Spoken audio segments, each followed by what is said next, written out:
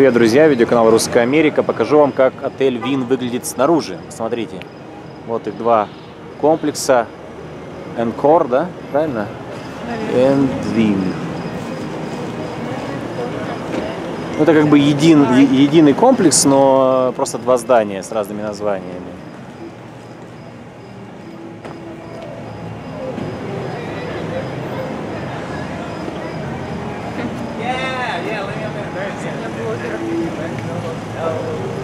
Не знаю, наш этот лимузин или не наш лимузин. Ну, ждем. Ребята, это лучший отель в Лас-Вегасе, поверьте.